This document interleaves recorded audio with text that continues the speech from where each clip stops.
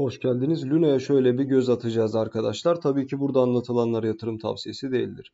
Kimseye alığı da sat demiyoruz. Karınızdan da zararınızdan da sorumlusunuz.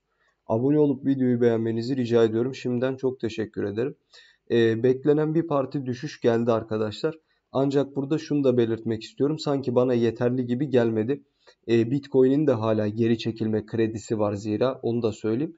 O yüzden e, Bitcoin zaten 23.600'lere kadar dahi bir geri çekilme yapabileceği için e, Luna tarafında da özellikle bugün içerisinde sevgili arkadaşlar gece e, ya da sabaha karşı saatlerine doğru şöyle 1.94'leri e, test etme ihtimali var sevgili arkadaşlar. E, bundan bir kere bahsetmiş olayım.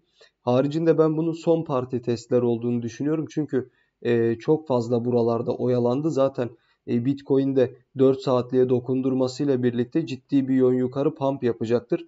E, Luna'nın da fırsat bu fırsat 2.02'leri yarın içerisinde en geç alma ihtimali e, çok yüksek sevgili arkadaşlar.